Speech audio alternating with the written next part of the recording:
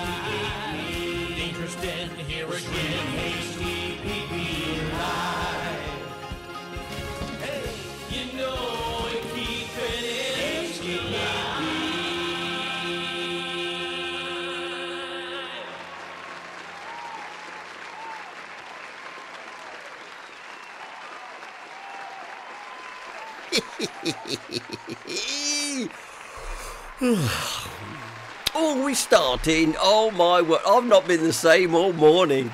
Indeed, all day. Still tired. Hello, welcome. Welcome to HDPP Live on a Sunday evening. Am I tired? Yes, it was the dancing that did it last night. Who had a good time last night at the HDPP disco? Listen, video to come uh, very shortly. It was great. Um, I, I knew you lot wouldn't let me down, and uh, and it was it was just great. Um, what more can I say? It was fantastic. Um, always tended to always like a little jig every now and again, um, and doing it last night again. But like I said, but I got into bed. Like I don't. Was you this? Was you the same, Missus? Yeah. Uh, got into bed last night. That my knees were creaking and aching. and my ankles, my feet were tired, and they were still a bit tired this morning. Um, and I've just felt today. I mean, I, I think probably it's partly a bit of relief that everything went okay because I, I fret. And I think I've told you many times before, so oh, no, I fret, oh, things aren't going to go right. Yeah, right. And they did. And then today, I think I've been relaxed, but I've been tired with it. That's how I've been. Anyway, but it was fantastic. And um, we've got lots to talk about in tonight's programme. All the regular features, of course, that you'd expect from HDPP. Uh, we've got six of the best. We have video of last night's occurrences. Some could be embarrassing, I don't know. Um, but we're looking forward to that. Uh, got a couple of little features and a fresh nosy tonight. So we might be a little bit shorter because I might norm normal, you know, shorter as in lengthwise than uh, we normally would be because uh, I've been going nodding off. Oh, we're not finished yet, that sort of thing. Anyway, so uh, Anne Hunt, uh, first in the room this evening. Hello, Anne. Uh, lovely to see you last night, and I'm so you honest, I'm so pleased that you enjoyed it because we moved, we put the disc disco on last night, especially for you, because you're going away next week anyway. And she travelled. She she travelled home last night. Good grief! How did you do that? But well done, Anne, and uh, wonderful stuff. And now then, uh, and Carol Sacconi's here from New Orleans. She can't wait to hear about the disco. Like I say, you're going to see video very very shortly some terrible dad dancing too. And Pat Galloway's here with a big cooey. And Steve is here, granddad, down on Turt Farm is here as well. Um, and you can see there it says, answered, I'm a bit tired. It was a long drive home, but all okay. I mean, when that is commitment. So somebody that comes from, um, uh, from Avon, um, and I'm talking Weston-super-Mare and Wall, uh, to come over to the disco. Uh, yeah, that's commitment. Some people last night who bought tickets, it's their loss, bought tickets but didn't bother turning up. Okay, we benefit because we get the money for our local good causes. You missed a cracker last night, and we are indeed planning um, another one later in the year, probably sort of September, October time. I think by then I'll be stopped aching. Um, but it was great. David Allen says hello from Boston, Lincolnshire, and he really enjoyed the disco last night. But he, he too, to be fair to David, he had travelled from Lincoln, uh, Boston actually, um, and stopped over and, and, went home. So David, uh, thank you, and thank you for the drink. Uh, went down a treat a little bit later on, I can assure you. David S is here. Hello, David. Hope you're all okay over there. And um, Annabelle's here. Dangerous Dan is in hiding. Yes, he is. I've put Dangerous Dan in the call out room. He's too keen on the keyboard and giving answers away. So I've put him in the cooler tonight. That'll teach him. Yeah. Anyway, uh, Dave B's here as well. Uh, nice to know you're here, Dave, uh, as well. And as I'm scrolling down those lists, as you see, Anne Hunt says, by the way, Paul, got you on the big screen tonight. You would because I haven't had a shave. I just said to Sue a few moments ago, I said, damn, I said, I'm not going to have a shave. I mean, if you got really close, you, can hear it. You could strike a match on it.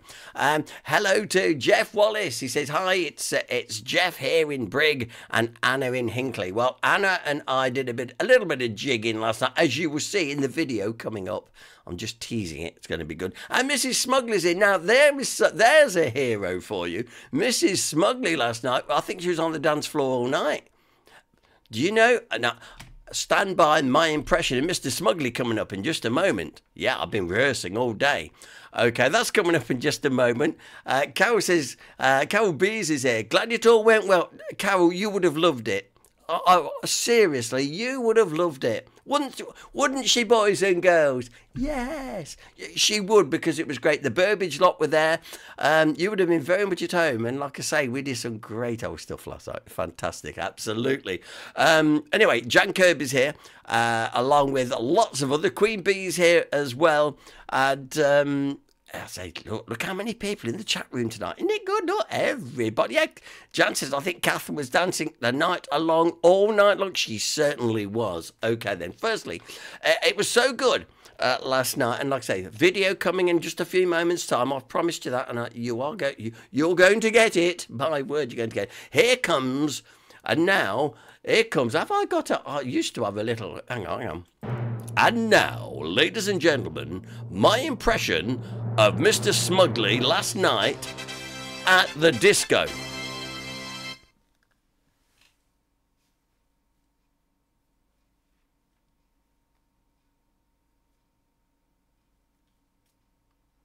Oh, and that was it. Mind you, uh, rumour has it he was doing research on his book.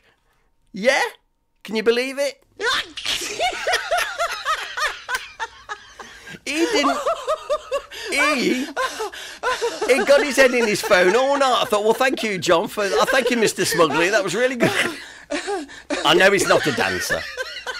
I know he's not a dancer. I know he's not a dancer. But Mrs. Smuggley was saying she was there all night long and strutting her stuff, and why not? Great fun and great exercises dancing, as I found out to my poor old knees uh, today as well. Uh, Daniel Coburn says, I bet you got a few sore heads from last night, but it looks like a great night. Daniel, you got to come to our next one honestly. And would you? And this is true, by the way. Uh, how many people were contacting me for tickets on the day, and then well, so they've all gone. Uh, bit annoying when people have had tickets and then they don't turn up. I mean, I know we've all got our own lives to lead and stuff, you know, but then you think, well, I could have sold some tickets. Anyway, it doesn't matter. We're through it. It's been good. Right. Okay. Right. Okay, then. Let's move on. So, um, oh, hello to little Jane. Just joined us. Yes, Jane, you just joined us in time because we're going to show you some video of last night. Oh, and oh, I must say hello to Judy Peatfield from the Concordia. Oh, hello. Um, nice to know she's made it tonight as well. and Daniel Coburn says, Was Mr. Smugly researching for tonight's quiz? right, actually, yes, he probably was. Yeah. Um, yeah, Jan Coburn said, I asked him if he was writing his book and he said he was researching. Yeah, I bet you was researching doing soapboxes. I bet you, I bet you that book has not been touched since since we come out of lockdown. I wanted lockdown to go on more because he was making progress. You see. Anyway, we can but hope. We can but hope. Okay then. Um, lovely. Yeah, Kath Denny said I could make up for John. I liked how you were singing to him last night across the table, and he was going, "He will call you." Let's do six of the best first uh, tonight. Now, you must forgive me because given last night and the way things are, like, so we have got six of the best tonight. Slightly different, and, and I think you'll find also the program might might be slightly shorter. Now, as always, I have now banished tonight Dangerous Den. Um, someone's got to put some discipline in this place. So um, he he is barred from answering any questions tonight. Yeah. And um, so we're going to see how we get on with six of the best. Remember, don't put your answers in like Dennis does uh, until we tell you at the end of the program. but what I never know is whereabouts six of the best is going to start. So I just have to hit the button and we'll see. We've started in the right place and they are easy tonight.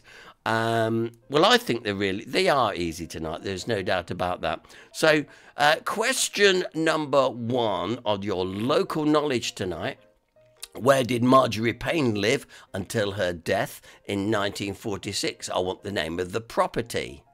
That's all I want. And if you've been paying, if you've been paying attention, you will know uh, where that is. Okay. Question number one: Where did Marjorie Payne live until her death in 1946? Being question uh, number one.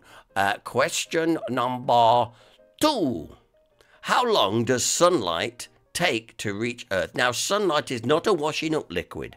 Just for those of you that want to try and be a little bit clever, no, it's not. Uh, how long does sunlight take to reach the Earth? That is your general knowledge question. Okay, get ready because here comes Find the Words. Oh, ha, ha. Too easy, I say. I know what it is, but can you get this? This is an actor and a film. Actor and a film. I will show this again in a few moments so you can get all your dashes in the right place. It is, I, I, admit it is easy tonight. Uh, all the questions are easy tonight. There should be some six of the besters tonight. Find the words. This is, this is an actor and a film one of his famous films. They are. I've already told you it's a he. I'm giving it away. Let's move on. Right now, if you listen very, very carefully, I'm going to play you a bit of music. I want you to tell me what is it the theme from. Here it comes. Actually, I do like this, but what is it from?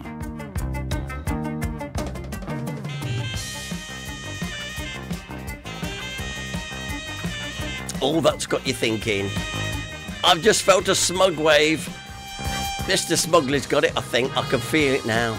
There we go. If you know what that music is, coming in quite loud actually, um, well, put it down, write it down. What is the theme tune from? Stop it. Right, okay, moving on quite sedately to our next question.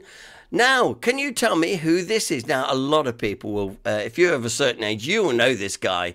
Uh, what's his name? you know that, you know, or what's his name? well, this is what's his name. Okay. Uh, I want you to tell me what's his name's what's his name.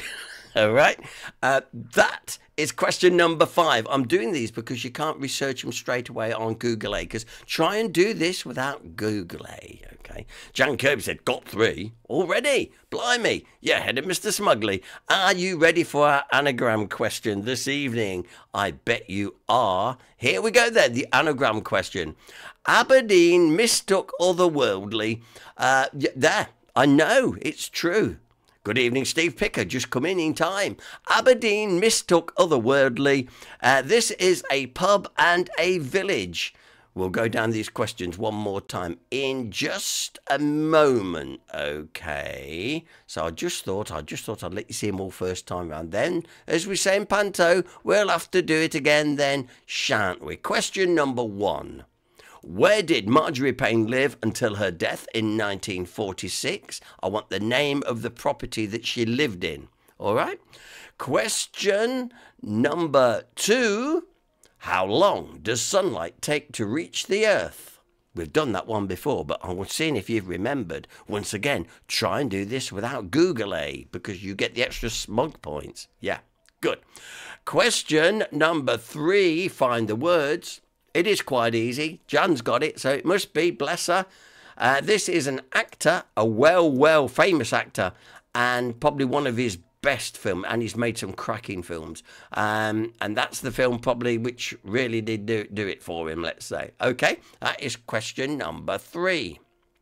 Hope you've got your dashes and dots all in the right place there. Jan Cope says, cheeky, cheeky. Uh, question number four guess the theme tune. Here it comes again. Is it going to be a, one an earworm for you? You remember seeing this on the TV? In the 1980s, indeed. But what is it?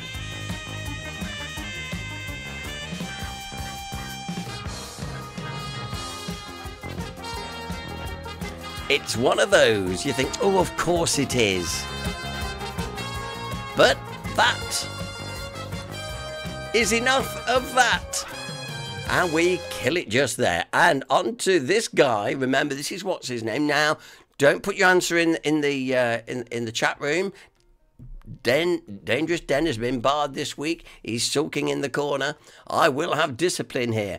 Uh, what What's this guy's name? Can you remember him? He was such an he was an icon of the time. Yeah, an icon of the time. Um, I'll just leave it there, really. I want to know what his name is. I know a lot of you uh, will definitely uh, get that. And on to our anagram this evening Aberdeen mistook otherworldly. Uh, we're looking for a local pub in a village, or a local, a local village and a pub, whichever way you want it. Uh, trust me, it's a good one, and I hope that you do well with that with six of the best this very evening. Okay, then, right. So here we are, Sunday night. Um, before I go on, and I'm teasing you about this video, but seriously, it's coming in just a moment. But I must just make an important announcement, and this is going out to all of you, um, because you you people deserve to know first, and I want so much as many of you can uh, to join us down uh, as we dedicate uh, and unveil uh, the plaque to Marjorie Payne. Now, this is what our members paid for uh, at Marjorie's grave in Hinckley Cemetery. We're having a short dedication service uh, on Thursday, the 11th of April at 11 o'clock. Um, now, it's easy to find where we are. If you know the, the, the, the service chapels, at the front of the cemetery. Just come through past them, and you'll you'll see it's just a, a little way in there, uh, easy to find. Uh, I would love, I would love as many HDPP members to come along uh, and represent the rest of the membership. Um, on the day, like I say, it will be just a, sh- a, little short service, um, nice and respectfully done. And I would really love as many of you HDPP members to be there. Jan says she's going to be there. I think Kit's uh, going to be there, uh, and a, and a, a, few others. Seriously, it'd be nice to be just gathered round there uh, and to say a, a, wonderful big thank you to, uh, to Marjorie, which I'm really hoping she's so pleased that this is finally that she's finally been recognised for such a generous gift of Argent's Mead. Um, and so that is happening on Thursday. Anybody, anybody can come, but if you know any of our members, uh, or if you're in the area at the time, please come, please come by. Um, we won't take much of your time at all, probably 20 minutes tops, something like that. Um, but we would dearly, dearly love you to be there. So please, please come along. Um, that'll be great. That's an exclusive announcement. I'm going to be posting this on the group later, but I wanted um, all you li- all your HDPPers livers um, to know that first because I think it's uh, very important. After all, it was HDPP members that uh, paid for this plaque. So brilliant.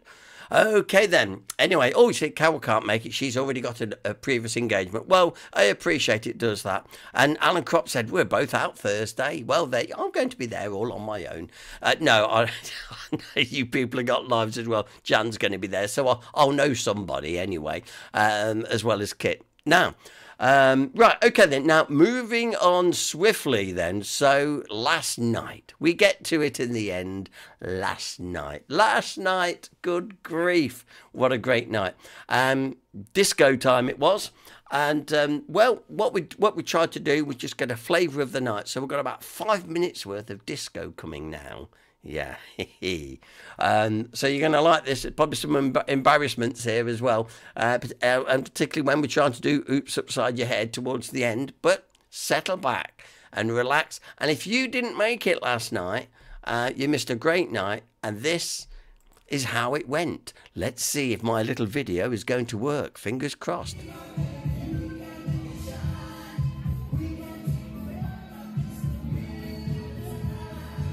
This was at the beginning of the evening. And as you can see, already the room was uh, filling up a treat. It was great to see Maureen there, Maureen Bowen. There's our Anne, there's Mrs. Smugly. She was there all night long. She really, really was. And the music was typical classic disco stuff all night long.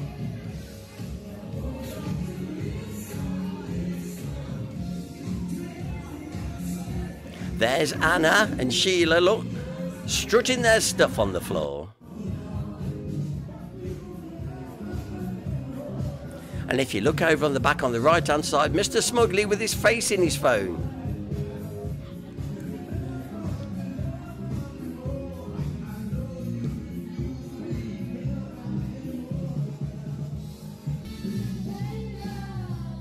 Here's Steph and, our Claire. Mrs. Smugly still going strong.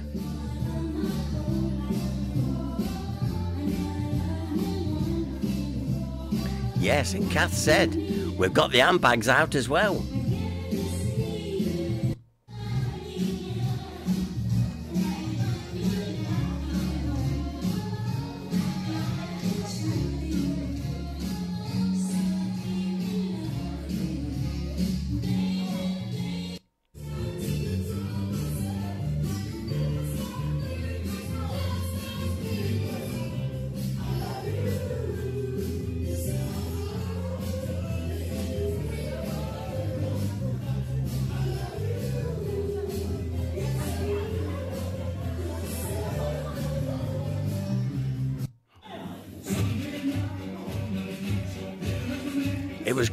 Play this song again.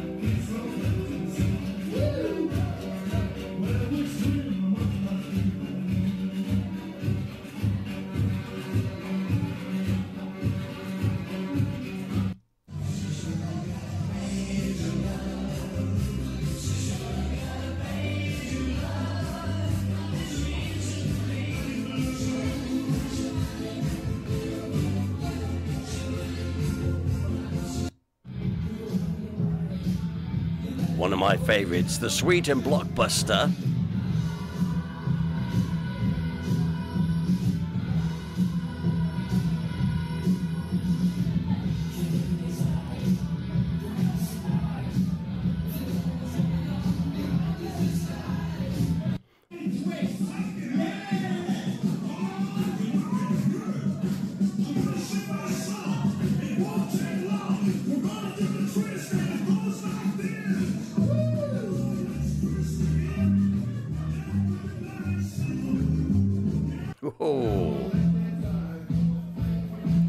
Tom Robinson and 2468 Motorway with this one.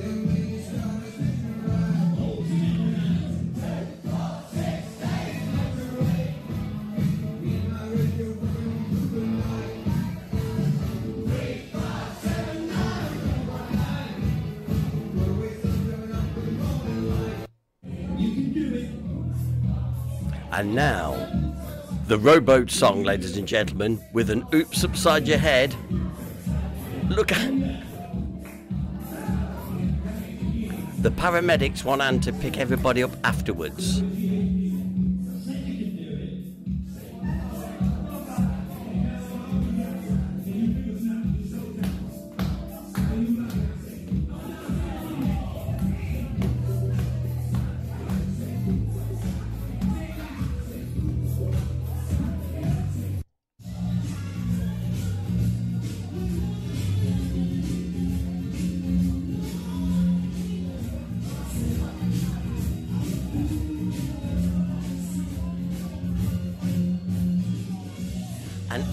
Nearly fell off her platform shoes last night, but she was doing so well.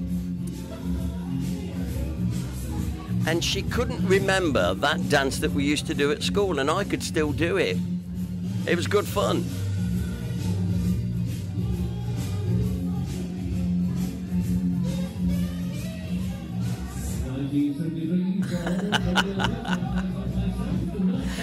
Happy, happy time. We had a great night last night, and that is just a snippet because what we did, we let the music, we let the music do the talking. Simple as that. Let the music do the talking. And how many people said, Paul, it's great to hear the whole song and not just 30 seconds of it. So, and that's why, and that's why, if you asked for a record and we didn't have a chance to play it, we just ran out of time. But if we do a second one, you're going to love it because we'll try and do the songs we didn't do the first time right. Okay.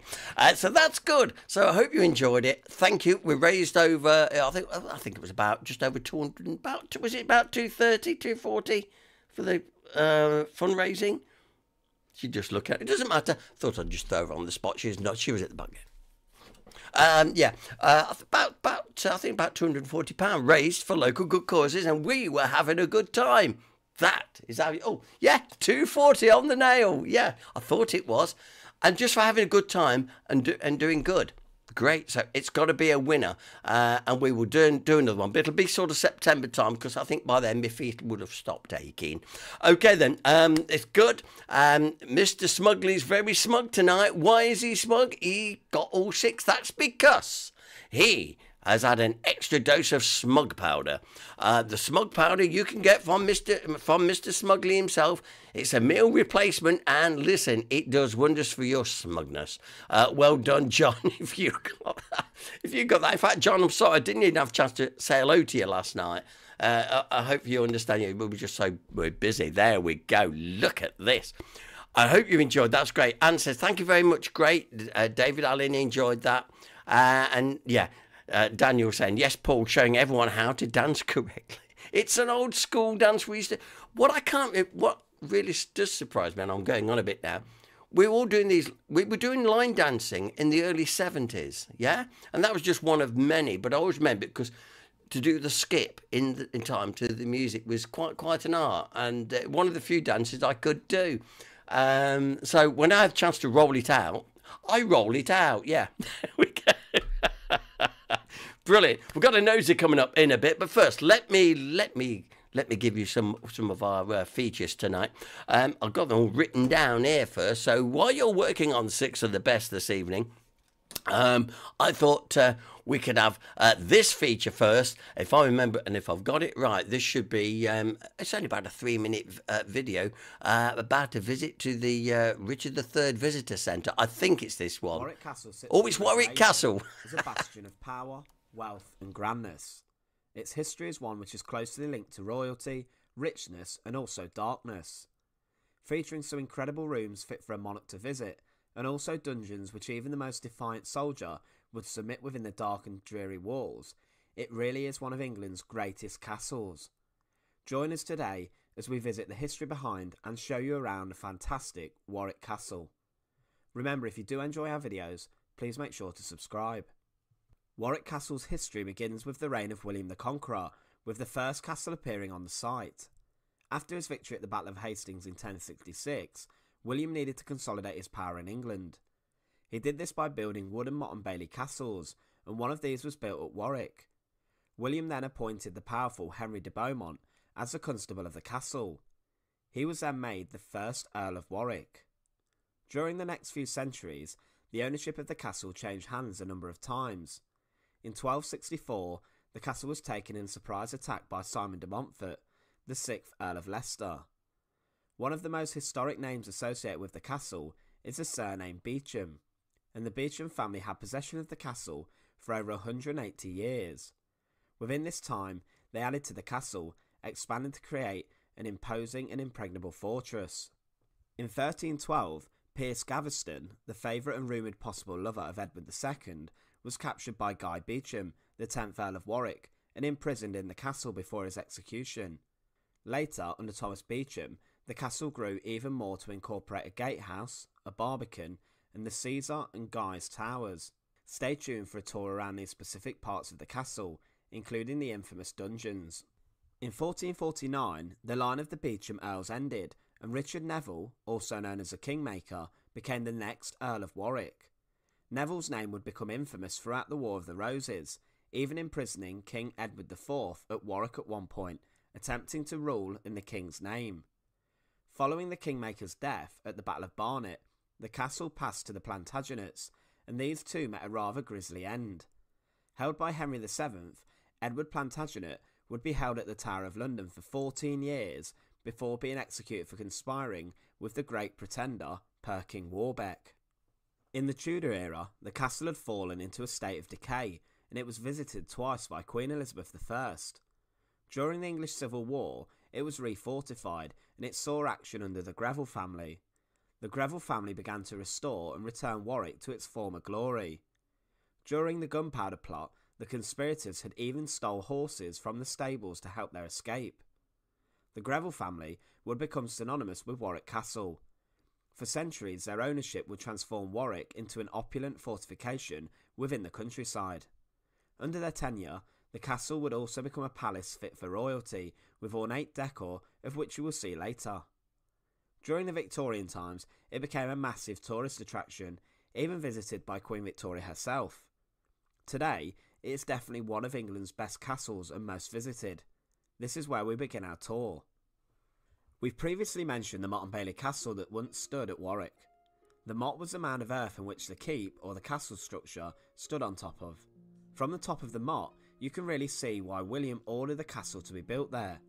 The views offer a complete 360 degree view for miles around and would give one enough time to prepare should an invading force be approaching. The curtain walls at Warwick are extremely thick and huge. These intimidating walls would act as a first means of defence following the moat. They were built to allow archers and crossbowmen to swiftly move around the castle to defend different parts from above, and they do feature many arrow loops and crenellations. Built in the 14th century, the Guy's Tower is a huge and intimidating structure that offers incredible views of Warwick. This tower would have originally been used to accommodate important guests, However, the rooms were sometimes used to house prisoners. In fact, within these walls is some prisoner graffiti. It has five stories within this tower, with the fifth being a guard room. During the English Civil War, the windows were modified to allow people to fire handheld cannons. One of the first defences that possible attackers would be greeted by at Warwick would be the Barbican. The exterior wall passage had a drawbridge and extended out into the ditch. Soldiers would then be faced with the inner portcullis. From above, an invader would be peppered with crossbow bolts and arrows, and it would be possible to create a trap, creating a killing zone. From above, terror would rain down from the murder holes with waste, boiling water, and sand being thrown which would get into a soldier's armour. This was a brutal method of defence. Leaving the Barbican along the wall walk, you head towards Caesar's Tower. This was built in the 14th century and is the tallest tower within the castle. This is a four storey tower and houses the infamous jail. The jail at Warwick Castle is extremely infamous. It is incredibly dark and cold within the confines of the jail. It has a single open drain running across the floor, providing the only sanitation. The only light that comes through is from a tiny shaft high on the wall, from which the guards would then watch prisoners. Inside the prison is a number of carvings on the walls of those unfortunate enough to be housed here. Within the dungeon, prisoners would be shackled to the walls and would probably face torture. The most brutal method of them all is the oubliette that's found here. This hole in the ground was simply where a soldier would be left and forgotten, being eaten by rats, or possibly even drowning in water or dying of starvation.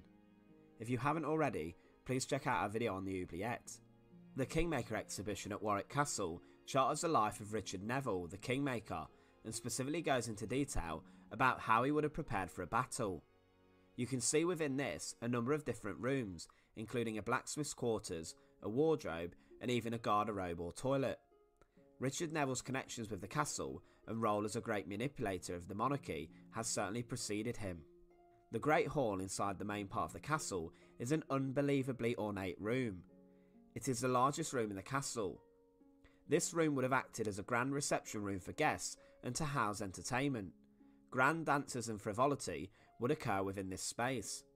The Red Drawing Room is a grand chamber and was used as an anteroom, a room in which guests would be received in a grand and opulent manner. Adorning the walls are a number of rich and incredible paintings. Within this room, you can certainly get a feel for the opulence and the wealth of the castle's custodian. The next few rooms only have one purpose purely to entertain and impress guests. The Green Drawing Room functioned as a private gentleman's room for travelling aristocrats to rest and play in. This beautiful room features an incredible ceiling that is inspired by the Temple Bel in Palmyra. Sadly, this temple was destroyed in 2015 by ISIS.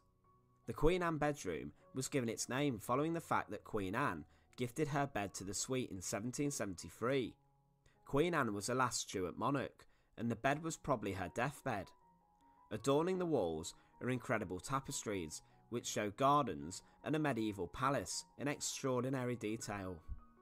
The small yet intimate blue boudoir was redecorated by Daisy Greville. She wanted a room to entertain the ladies, whilst the men would be in the green drawing room enjoying themselves. Inside this room are a number of very famous paintings. The armoury passageway contains a rich number of weapons and pieces of armour, including the sword of Guy Warwick. Allegedly, this armoury is only second to the Tower of London. The chapel in Warwick Castle is small yet hugely impressive. It was the meeting place of the Earls of Warwick and their families every Sunday. The stone screen would divide the family from the household staff. In 1995, the ceiling was discovered to have a number of heraldic shields on it. A chapel has been located on this site since the year 1119. Arguably, the most ornate and impressive room in the whole castle is the state dining room. With paintings of monarchs, including Charles I, adorning the walls, this room has hosted some incredible dinner parties and esteemed guests, including Queen Victoria and Prince Albert. In 1996, even Queen Elizabeth II had lunch in this room. The huge chandelier, marble fireplace, and vast amounts of artwork show off the incredible wealth of the castle's owner. There is even more to the castle, however, at a later date, we will show you the remaining part of the castle, including the Royal Victorian Weekend exhibition, the ornate bedrooms upstairs, and the incredible mill and conservatory, complete with the fantastic gardens. We really hope you enjoyed this video of Warwick Castle. Once again, thanks for watching. To support the channel, please subscribe. Thank you once again. There we go. A quick visit to Warwick Castle there. Um, nice to, if you've ever been to Warwick Castle, actually, I mean, it is very, very nice. We went a couple of years ago and uh, probably, probably been about three years now, I don't know. Uh, and it was qu- quite interesting. The day was a bit miserable and we were outside a bit, but it was good. I said, You must be jousting. it didn't go down. Some of my jokes didn't go down very well at all over there when this guy come out. Oh, good day, good night. Didn't like that one either. Anyway, um, thank you very much for joining us on our live stream. Um, I said in a moment we're going to have a quick a three minute visit over to the uh, visitor centre of um, of Richard III. But before that, if you want a quick recap of six of the best, Mr. Smugly doesn't. So Mr. Smugly can now go off and get back to his book, okay? Because he doesn't need to be here. You don't need it, all right? Okay. Six of the best. Here we go. Question number one. Uh, and my question I'm asking you um, is where did Marjorie Payne live until her death in 1946? Remember, don't put your answers in yet. We, we're not ready for that yet. That's why Dangerous Den is banned tonight. We will have order in this house. Uh, question number two How long does sunlight take to reach the Earth? Okay. Once again, when you know that Mr. Smuggley's got all six, you know, come on, we can't just let him be up there. So I want someone to knock it, knock it, you know, knock him off the top there and get a get a joint six. you should tonight. They are pretty easy. Question number three: um, This actor and hit one of his most famous films. Can you get it? I think it's good. Jeff Wallace says six for Anna and I tonight too. You see, I said it was easy. That's right. That's that's took the smile off Mr. Smuggley. Um, lovely. Uh, an actor and one of his most famous films. Uh, that is question number three. Question number four. Right, are you ready? Wow, it's a good. It's it's classy, isn't it? I like it. I do like this. What is the theme tune to this TV program? I know. He was suave. He was sophisticated. He was handsome. He was a bloody nuisance. Right. if you know that theme tune, quick, write it down to get your question number four here on Six of the Best. Enough, I say. That's enough. I'm giving it too much. So, who's this guy? This is, old what's his face? Yeah, what's his name? Can you remember? He was so iconic in the 60s and, and the 70s and stuff. What's this guy's name? Yeah, all right. I'm saying no more, but we'll get that shortly, I'm sure.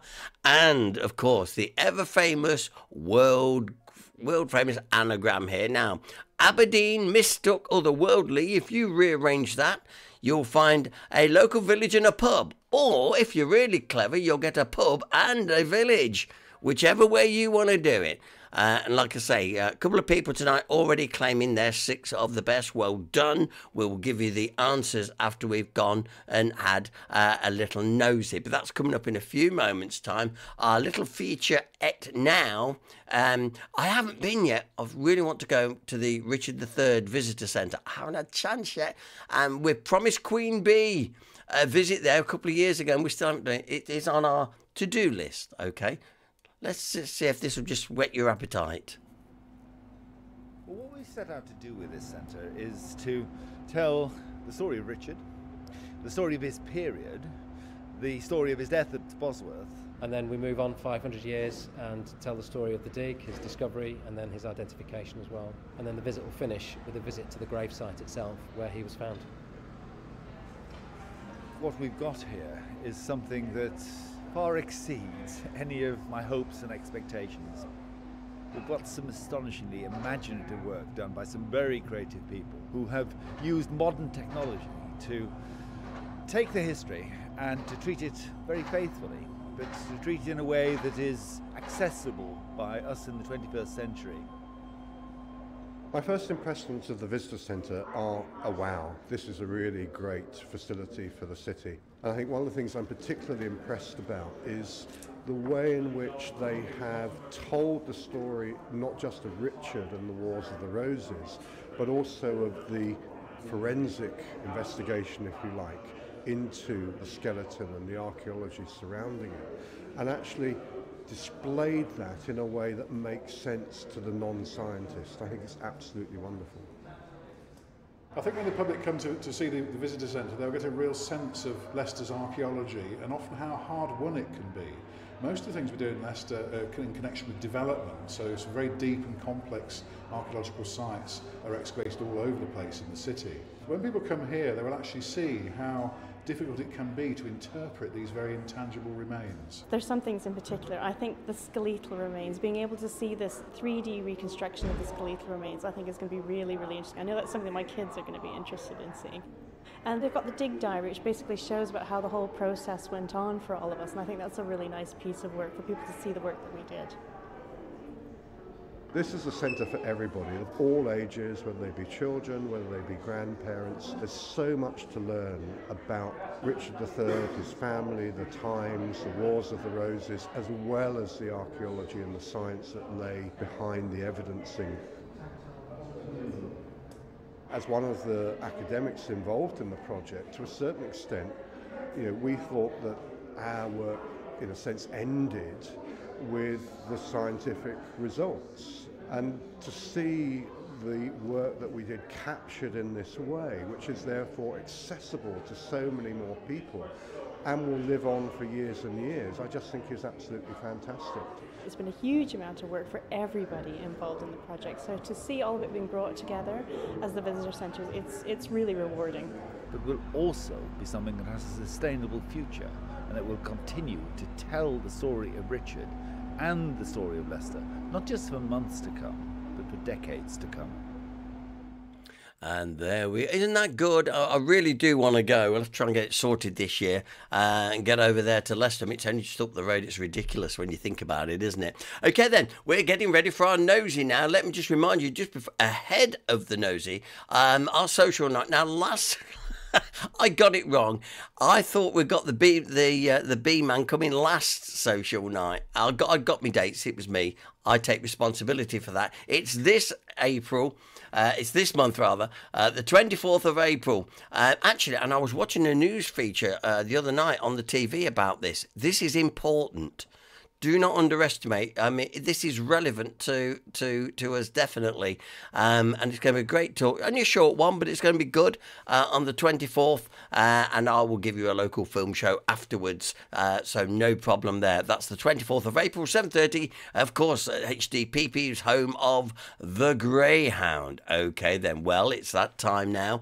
Um, Mr. Mr. Nosy's been out and about, and last week because he was late loading up his his last week's nosy. Um, I hadn't got a chance to do it, but I've got his latest noser. Noser. And by the way, don't forget, Mr. Nosy will be performing in June uh, in Argent's Mead. Thanks to Marjorie Payne, I will have you know. Um, yeah, Steve, we will show you the plaque because it'll just be across the way from where you're performing.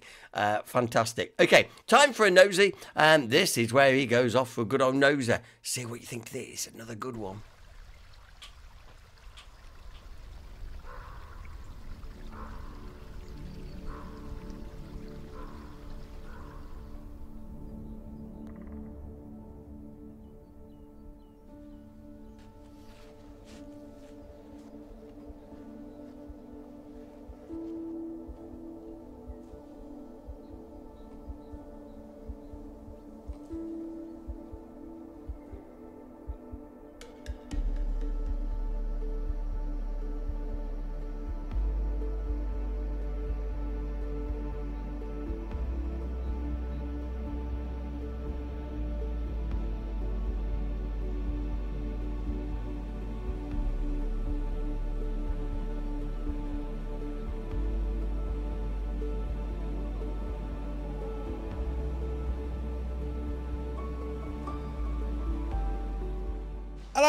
Ayok Diddlin. My name is Steve, and once again, it's a great big warm welcome from myself to Let's Explore. Right then, as you can see, we've indeed got a special guest today. I'll get to that in a second, but once again, backed by popular demand, everybody's favourite tribal elder, David, with your face like a budgie trapped in a pair of smugglers. How are diddling?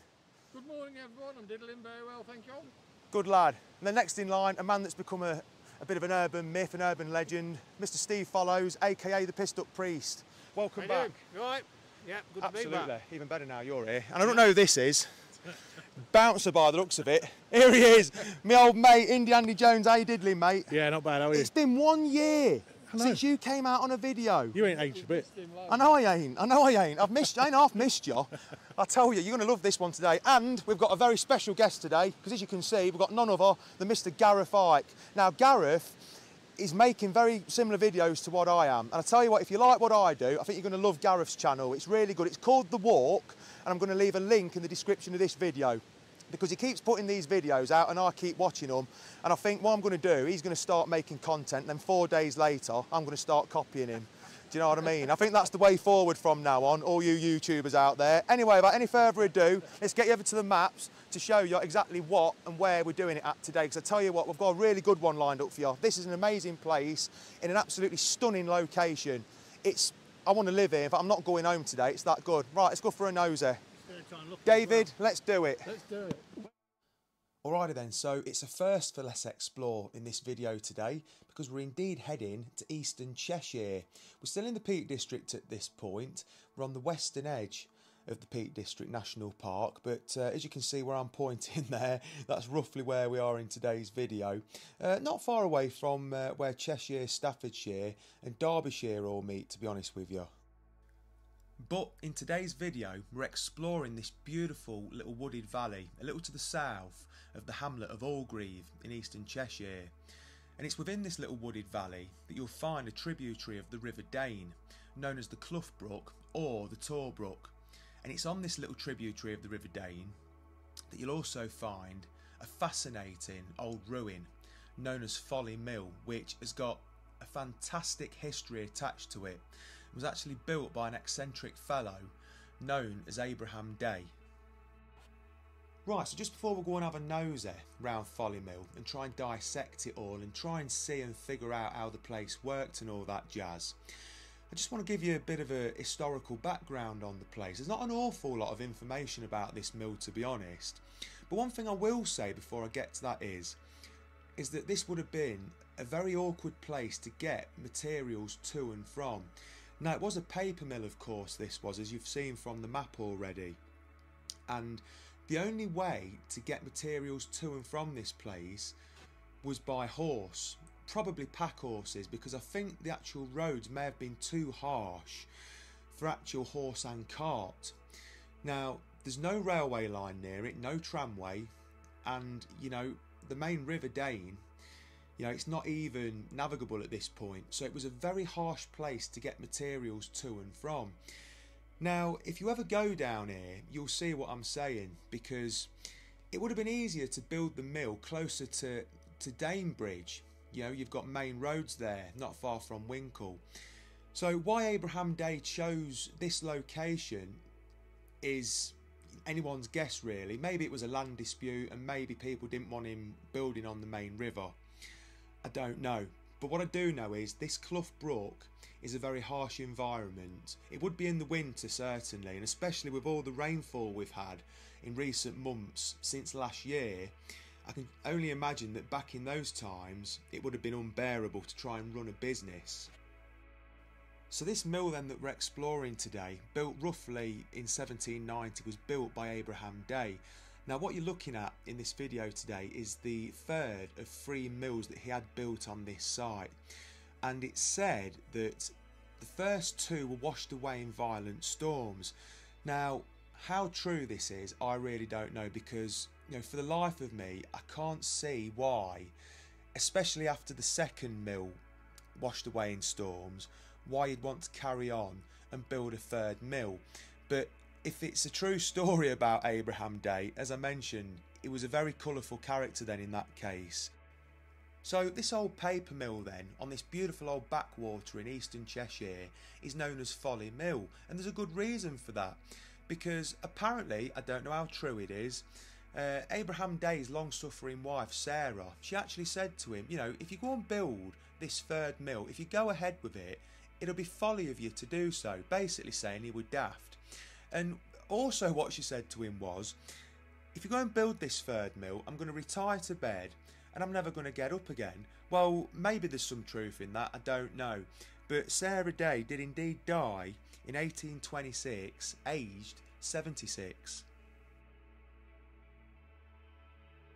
So this was one of the routes in. So we're not really quite sure what was happening here because this is quite high above Folly Mill. So there were buildings down there. I'll probably show you those at the end of the video actually that are quite high up on the cliff near the Gibbons face, I think we'll call it. It's not a chimpanzee anyway. Anyway, it doesn't matter, David Attenborough ain't here. No one cares. But this is clearly an old, an old road in. Clearly got a retaining wall there. That is very old. So they were using this, definitely, as a road. And they've even banked it up on one side because it were very dangerous. They probably didn't want the horses going too close to the edge because it might have spooked them. Do you know what I mean? With all that weight on them. Right, so this place on a day like this is stunning, but in the winter months it would have been a nightmare. So just behind Gareth, that is, no, you're all right, mate. That is a pack horse route. And here, they had to go like round a bit of a hairpin turn here. So I'm not really sure what happens here because there were two routes into this place. Down here, that is the one that fell in, or there was a bridge there, we're not sure. And then above the mill, there was another way in as well. Uh, it's a bit complicated, it's one of them this is, but it's, oh wow, what a day, it's beautiful. I've got heat on me for the first time in months. This mill is an incredible old structure, a beautiful old ruin.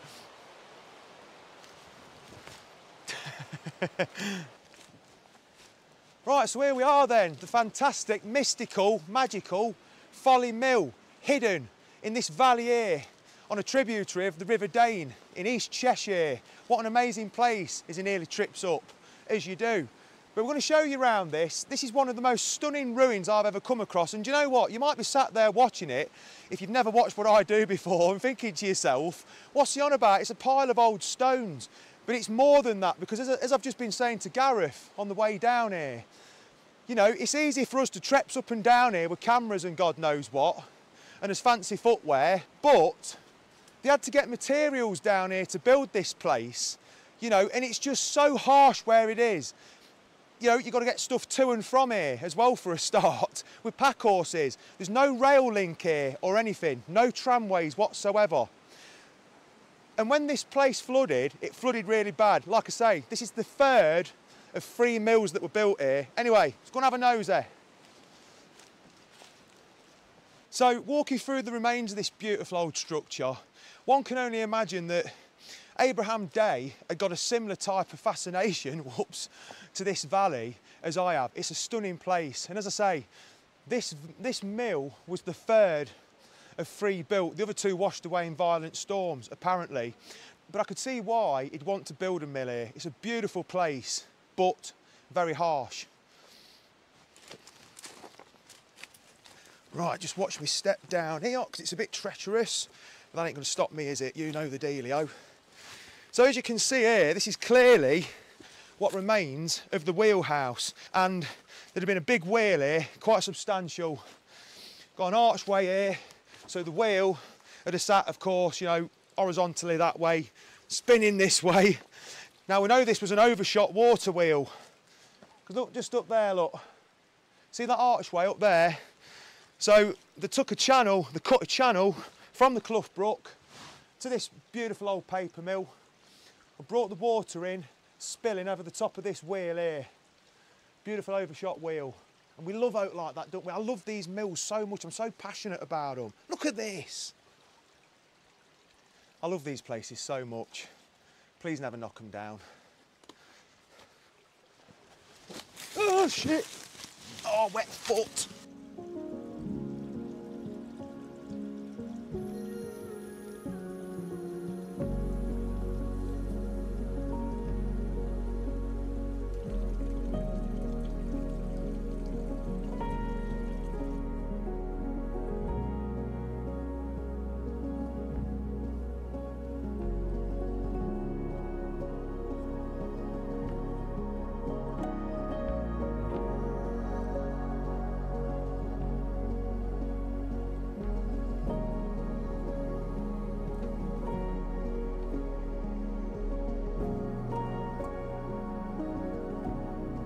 Big question of the day is, what do you reckon, Gaz? Mate, it's awesome. You heard it here first. Privilege to be invited out with you, mate. It's, honestly, mate, it's- this is, I think, this ain't the best ruin in the world, but I think it's in the top one. It's in the top one. Pyramids have got nothing. And who said that? Brian Clough. There you go, you see. Spoke like a, a proper Rams fan. Boo. So, as with all things when it comes to water mills, you've got to use water to power your mill, to drive your wheel. And my mate, my good friend, just, just there, he's come up with a really good theory. So instead of me explaining it to you, I'm going to let him do it because he don't do enough talking. You can't shut him up in the car usually. What a beautiful place this is, folks. It's absolutely amazing. So this is tame at the minute. When the water comes down off the hills, this will be a, a torrent coming One through. hundred percent. Here was a dam system with a runoff over there. See where it's built up all the way down that side. Yes. And then the sluice gate would have been here on this deep channel. So this is all this is all filled with rock with um, rockfall now. So Yeah. this would have been down more at that sort of level there. Yeah. And the problem is when you're trying to tame nature like that, if nature goes, you're having it. So just remember that if nature says you're having it, you're having it. I love that. but as you can see here, we've got this really old map. Now I think this map dates to around about 1850, so it's very old. Uh, but what you've got, where the arrow's pointing now, that's roughly where me and Indy Andy Jones are stored. Uh, on the opposite side of the bank, that's where he says that the water went round itself, so it was right there. But as you can see, it doesn't show a weir which surprises me. Now, the last time I visited this place, I couldn't make a video because the weather was really bad. It was serious, like biblical rain when we got there, so it ruined everything. Although I'm glad we saved it for now, it worked out well in the end. And I can remember being stood where me and Andy are right now, thinking there must have been a weir here for the simple reason that channel where Andy's saying there was a sluice gate that is, you know, it's quite high above the water level as it is on the day when, when we're showing you all this. So there must have been a weir there. I mean, there are some actual rocks that are there, uh, stones, look like they've been cut for a weir. So for me, there would have definitely been a weir there to build a head of water up because, you know, me and you, we've been to a lot of these places now, and I'm always banging on about, you know, lifting up water levels, ain't I? And to do that, they'd have to build a weir to lift the water up to get it to where they'd want to go. But this is a, an absolutely stunning place, but it would have been very harsh. I mean, you know, me, Dave, Steve, and Rob were down here before Christmas, as I mentioned, when the rain was really bad. And that Clough Brook was raging. And I can only imagine that it would be even more capable of being a hell of a lot worse as well. Hence why, you know, there might be some truth in that story, you know, that this folly mill may have been the third of three mills. Anyway, I've got some Indy Andy Jones in to do, so let's get on with it. So there's a reason why we're bringing Andy Jones out. That's because he's very technically minded. He's very good at working places like this out. He's really good like that.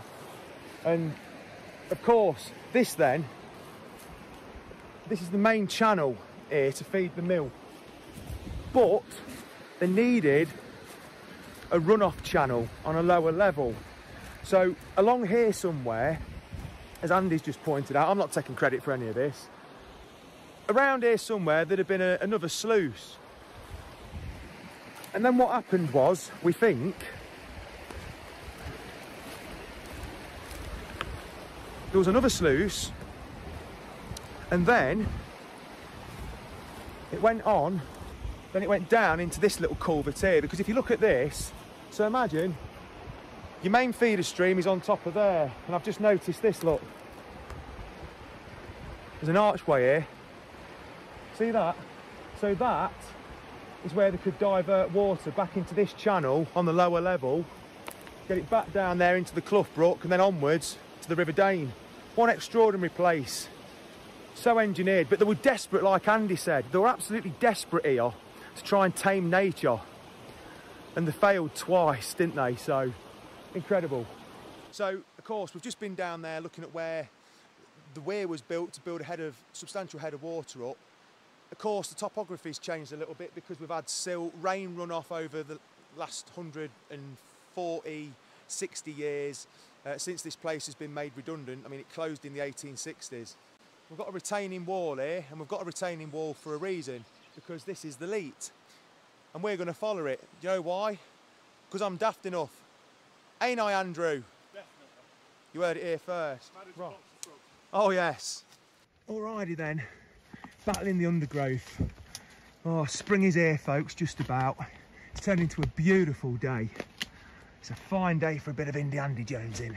Look at that, it's clear as day now, look. You can see the archway up there. Oh. Ah, crikey. Bit of plastic pipe here. I don't think that had to do with Abraham Day. I mean, this stonework, look at it, it's so old. Laid by expert craftsmen. Look at this.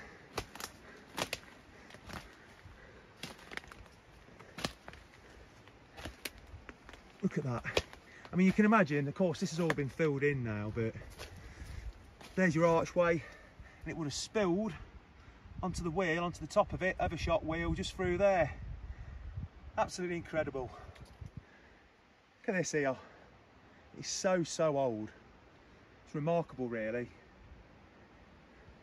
But know, traipsing about in the undergrowth again. Mind you, this is where you find the interesting stuff.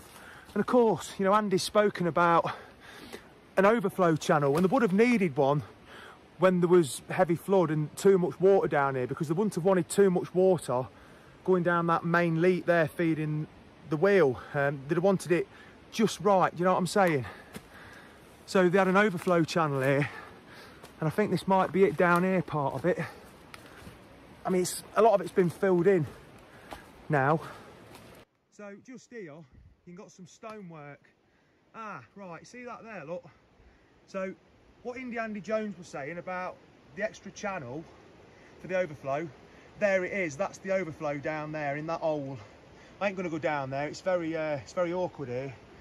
And it came through here, and you've got another hole here. See that, look? So it'll bring you to all the good places, don't we? Absolutely, mate. Absolutely. That's, that's a trust pilot review, that is. Trust Yeah, pilot review. absolutely. There you go, you see. Anyway, you know what you're talking about, so you can tell people Yeah. exactly what you think. Well, I don't think the this stage was is a mill. yours. I think it was a pub. It was a pub. Right, well, that makes so, yeah. sense. The bar was over there. Yeah. There was a skittle alley down there. Yeah, yeah. So we can go now. Is that it? Yeah. Well, can we talk seriously for a change? All right, maybe. That's why you've not been out for a year. Go on. I think this was the first wheelhouse. This was the first wheelhouse because the leat, which is now the overspill, or Yeah. ended up being the overspill, was feeding this. And this is earlier, a lot earlier than the sandstone. This is made out of the same stuff that the uh, the little cliff's made out of over there. So, So- they would have quarried the stone out and built it. So this this stone that you're looking at now is the same as what's up on that cliff up there. Yeah. Yeah, and I can see that. sandstone here looks like the same sort of stuff that. Um, That stuff there. Yeah, Matlock's built out of them all, all around that area rather than this type of stone. Yeah. So, being as that original lead leads here, first wheelhouse. So just just here then, literally where we think the limestone is, that column. Yes. That just there. Yeah, and then that arch there, over the other side, Yeah. matches up with what is now an arch this side. You just see it tipping away up that Yeah, ah, yes, I didn't point that out. So yeah, there is indeed. You have to watch where you're walking here, folks. As I found out a couple of times. Right, so he's absolutely cock on. There's an archway here, look. Look at that, the starter one. Then it ends because it is in a ruinous state now. So, Andrew, it's a 10 from Len. I think you're absolutely bang on. Yeah, and then there's this arch here to your left. Hold on, let me watch where I'm walking. Ah, right, yeah. Yes, there is. Ah, yes. Over. Yes, we have got an arch. Behind these facing edges over here, which matches up with that arch on that side. So this would have been probably a loading bay or a courtyard at some time to take all the stuff out that comes in from up there into the top of the mill, gets worked, loaded in and out that way. That's what I think anyway. Oh, you know what he's on about because I ain't got a Scooby Doo. no, I do. Absolutely fascinating. I hope you enjoyed that little insight there. I think you're right, mate. And I really do think you're right. Where the wheelhouse is now, that's I think the third incarnation. Yeah. And tried to master nature by putting all the stuff up there and diverting it that way onto a bigger wheel. This would have been quite a small one. Yeah, I think you're, you're about. I didn't notice the limestone thing until you pointed it out. So for me, that's a, that's a game changer. I love mills. Tell you what, Gaz, I'd be absolutely gutted when this falls down eventually. This would have been an Ugh. undershot, and that's an overshot. Nearly. Folly Mill was indeed then a paper mill, and the mill was used for the manufacture of coarse brown or blue paper of the type that was in the past used by grocers and ironmongers. And although apparently worked originally by Day himself, in 1825 it was being operated by Thomas Hope of Whiteley, who also ran the other Wincle paper mill because, of course, this wasn't the only mill down here in this little valley. Uh, actually, on the main River Dane, there were there were other mills as well. Now, Whiteley is very interesting Now, as you can see on that map, this is about a mile away from where we explored today.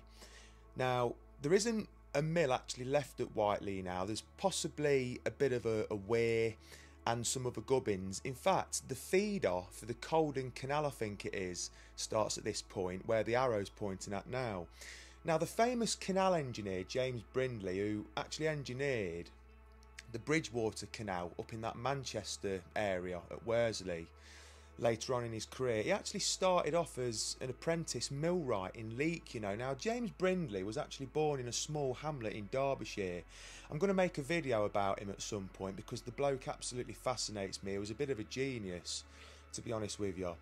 And I think one of his first major projects, don't quote me on it because I might have read it wrong, um, but one of his first projects that he was actually in charge of himself was actually building a watermill down at Whiteley. So a bit of a bit of side information for you there. But yeah, there were a couple of other mills in this area other than Folly Mill.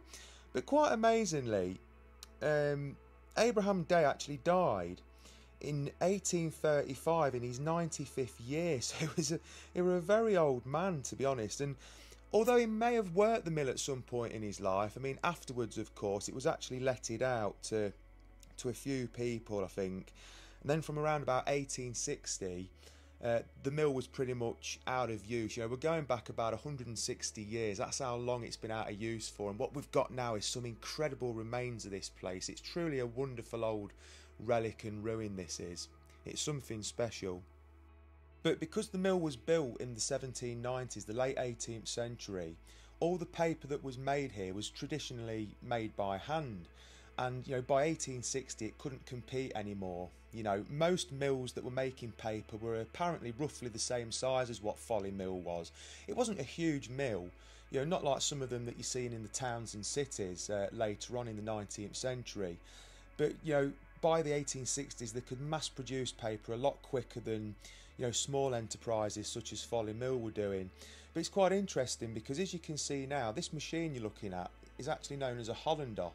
And this actually pulped up you know the raw materials used to make paper. And i think one of the raw materials used at the time was actually rag. And the hollander was actually of course as you can tell by its name was invented in holland in around about 1680 so a very long time ago so there would have been indeed one of these machines at folly mill which is incredible really what a fascinating place this was this is one of my favourite noses to be honest maybe my number one Right, so what did you make of this place then? Incredible place. It's one of my favourites, to be honest with you. But I'm not quite done yet. There's a couple more bits and bobs to look at. An old doorway here. That's where the wheelhouse was down there that we showed you earlier. And some very precarious steps that we actually walked down to get down here. So we'll go back up these. Gareth nearly fell down here earlier, bless him. As he calls it, he stacked it, as I might well do on the way back up. So Abraham Day more than likely used these steps himself. Once. Been a long time since he walked up and down here, I tell you.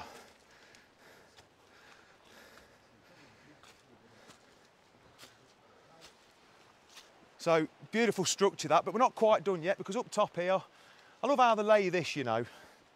I don't know what the terminology is with laying stonework like that. Bloody good, let's just put it that way.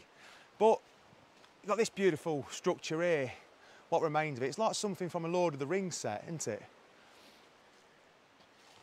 Who lives in a ruin like this? David, it's over to you. So yeah, as you can see, they've kind of kind of built this into the into the rock here. This is very interesting, look. Hey, look at this. That's almost like render, isn't it? When I came last time, I never noticed that.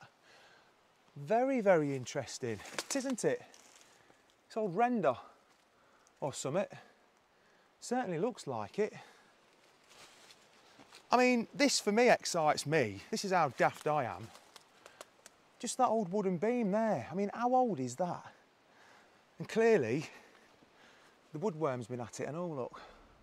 Fortunately, that concludes today's video. I hope you've enjoyed it as much as we did on the day because this was a, an exceptional piece of nosiness. Maybe one of my most favourites since I started this Malacca over three and a half years ago. But you didn't see much of Dave and Steve in the video because they were off doing their own thing. Dave were capturing these wonderful photographs that you're now looking at of the mill, and Steve was getting some amazing drone footage as well whilst I was out filming. Massive thank you also to Indy Andy Jones for coming out. It's been one year since you last seen Andy on a video, and of course, Andy's very technically minded and explains things and works things out very well. So great to see him again. Hopefully, he'll be back out very soon and not leave it a year next time. And also, a massive thanks to Garethite for coming out today. And as I mentioned at the start of the video, if you enjoy what I do, I think you'll certainly enjoy what Gareth does. He comes across really well on his videos, and I don't miss an episode. So go and check out his channel, The Walk, link in the description for that. Anyway, thanks a lot for watching, and as per usual, if it floated your boat, please like, subscribe, and share. Ta me ducks, Bye bye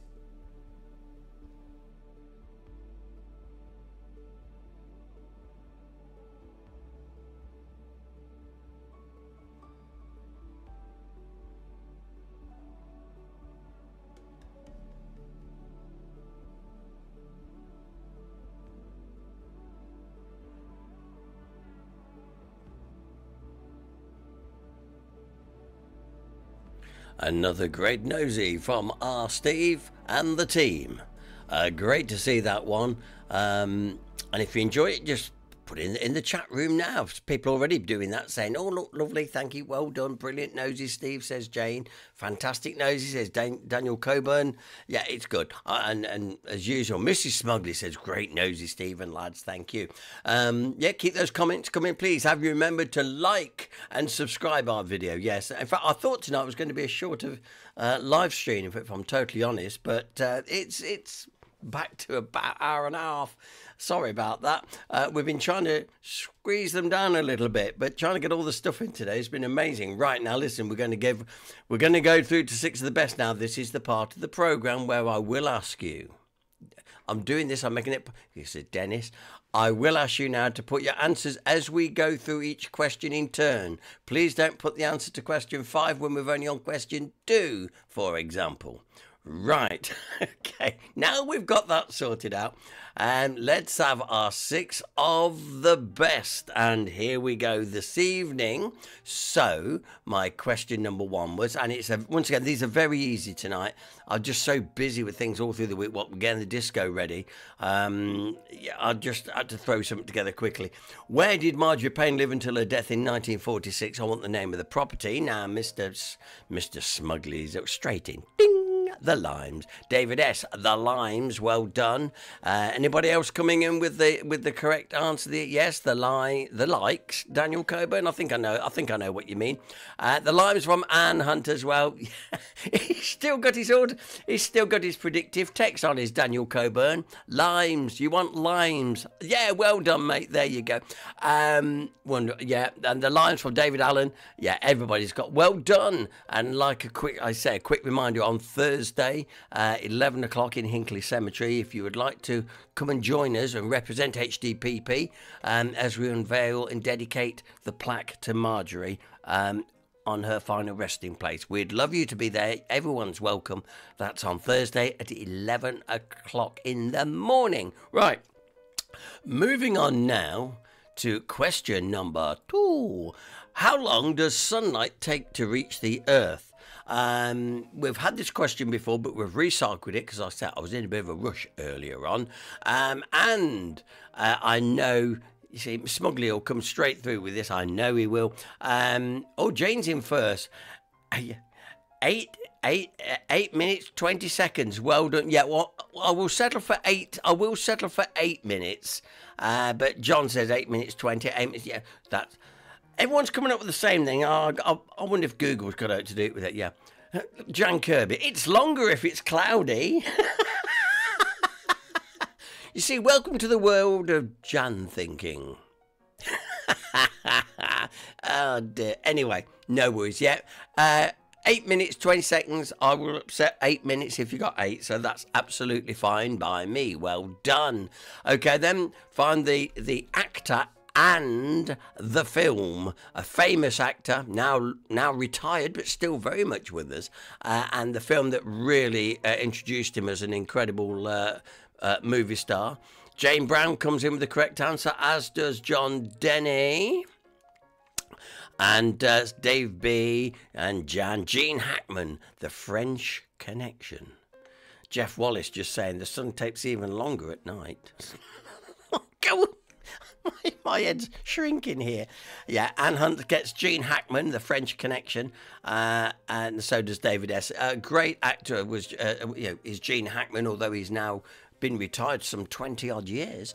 Uh, but yeah, it just got one of those screen presences, a bit like. Uh, like Eastwood, eh, would you not agree? Brilliant. So give yourself a point there. Remember, the you get more smugly points if you haven't used that Google A. Okay, we move on to our next one. Guess the theme tune. What is this theme tune? I'll let it play, and I'll let you put your answers in the box now.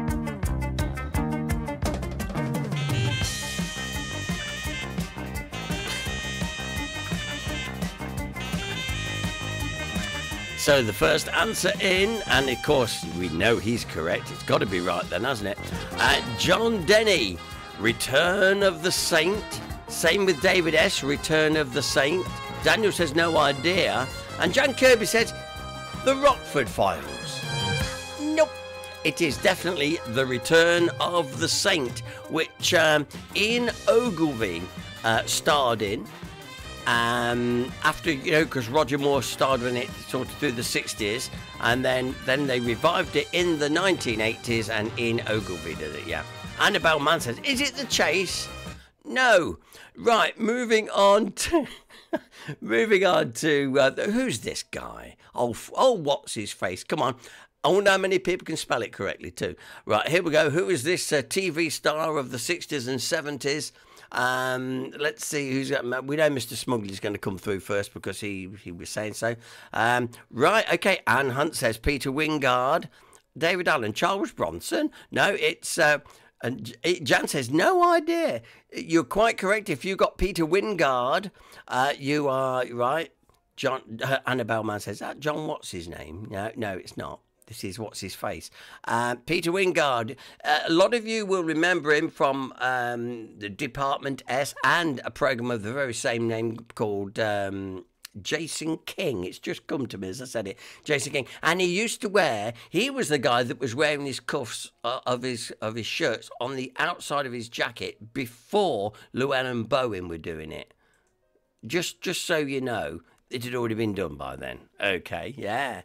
Uh, Jan Kirby said, that looks a bit like Mike's brother when he had a moustache. Actually, I can see where you're coming from. Yeah, oh, Kevin used to have uh, uh, a little bit of a tash like that, didn't he? Anyway, okay, on to the, of course, ever famous uh, anagram question. Uh, Jan, you've been here, you've been here. Right, okay. Aberdeen mistook otherworldly, uh, a pub and a village, a local, of course. Um, chances are you've been in here. I promise you, right? I promise you, you have. Mr. Smuggley comes in with the right answer, answer on this one. David I said, no idea. Lost the plot with this one. Never mind. Well, listen, Mr. Smuggley's got the answer there for you. Look, it's Ye Old Red Lion, Market Bosworth. Well done, Mr. Smuggley. We have to say he was smugly. But yeah, it was the old Red Lion Market Bosworth still there today, and I bet you, Jan, you've been in there. I bet you lay good money on that one. Mm, there we go, Anne Hunt, Red Lion Market Bosworth. But yeah, if you got that, you can have your points. Right. Well, you know what that means, don't you? It means we're looking at now rounding up. So we already know uh, Mr. Smugly uh, has got six. Anybody else? I think uh, Jeff and Anna have got six. Uh, let's see if anybody else uh, is coming up. Can you uh, can you challenge those? Can you be up there in this in the sixes? anybody else hitting a six? Daniel Coburn, two for me. Alan Crop, two for us. I like that, Alan. Two for us. David S. Five. Well done, David S. Good. Yeah, Mr. Denny six. He just wanted to remind us again. Um, David Allen two. Well done. Jan Kirby three. Um, mm, let's say, oh, and uh, Jane Brown says two tonight for us. Oh, Jane, I thought you might have got a bit more actually. Yeah, we got six, says Jeff Wallace, so he'll be flying all night long. Um, Annabelle Mann, of course, she's got nine. She would out of six. Only she could get uh, nine out of six. Four for Queen Bee. Well done, Queen Bee. John Denny, six again. I know he's just reminding us he's got six. Mr. Smugly. He's obviously been having too much of uh, his smug powder. Uh, you can get that from him, you know, as a supporter of this program. Brilliant. Well done. Listen, it's been a great night. Hope you enjoyed it. First of all, and once again, just want to say thank you to everybody who came to the disco last night. It was great fun. We will do another one. It'll be about September time, I think, because I've got to start organising the next um, um, school assembly uh, songs, which we're going to be organising in the coming months, actually, because I've had an email from the church wanting me to do another one. So that's my next thing I've got to start working on. So, uh, and if you can make uh, Thursday morning, 11 o'clock in the cemetery, just for a short uh, dedication service, we'd love to see you. After all, it was you members uh, that helped raise the money. Uh, to put that plaque there, so I'd like you there if you if you can be there. It would be absolutely superb. Well, that's about it from me. I look forward, hopefully, to your company next Saturday when my feet hopefully will be stopped aching by then. and uh, it's been great uh, that you've spent a little bit of your time of your weekend with me. So until next week, to remember to keep it HDPP, keep it live, and we'll look forward to seeing you then. Till then, take care. Ta da.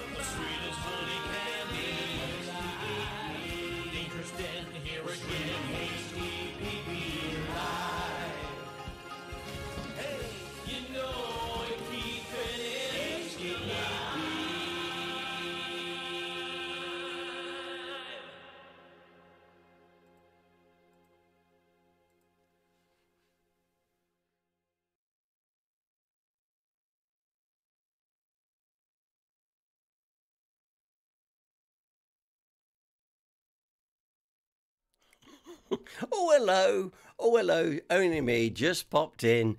Uh, as usual, we never talk about this part of the programme. We always tag it on the end. Uh, so, you know, just by hanging on, you might just uh, you might just be treated to one or two corny dad jokes. And I've got some corny dad jokes for you from my book, uh, which is a good one. Oh, hello. Uh, here we go. Now, tonight I'm doing doctor jokes. I thought, oh, I haven't done any doctor jokes for a while, so let's try a few. So, if you're ready, uh, we'll do a little bit of this. So, and some you would have heard before, but some thought, oh, I like that one, that's good. Like, for example, Doctor, Doctor, I keep thinking I'm a pair of curtains. Well, pull yourself together. yeah, well, you know that one. Doctor, Doctor, I keep thinking I'm a dog. Take a seat. I can't, I'm not allowed on the furniture. I like that one. Doctor, doctor, I think I need glasses. You certainly do. This is a pet shop.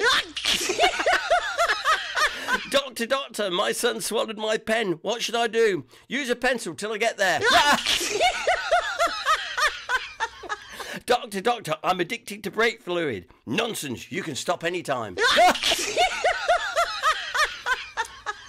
Doctor, doctor, I feel like a dog. How long have you felt like this? Ever since I was a puppy. Yes. Doctor, doctor, I feel like a pack of cards. Sit there, I'll deal with you later. doctor, doctor, everyone keeps ignoring me. Next, please. Finally. Thank you. You like that one? A little story. A little story. A little old lady goes to the doctor and says, Doctor, I have this problem with passing wind, but it really doesn't bother me too much. It never smells and it's always silent. In fact, as a matter of fact, I've passed wind at least 20 times since I've been here with you, and you haven't even noticed. The doctor says, I see. Take these pills and come back and see me next week. The next week comes and the lady goes back. Doctor, she says, I don't know what you gave me, but now my wind, although still silent, smells terribly. Good, the doctor says. Now we've cleared your blocked sinuses, we can get to work on your hearing.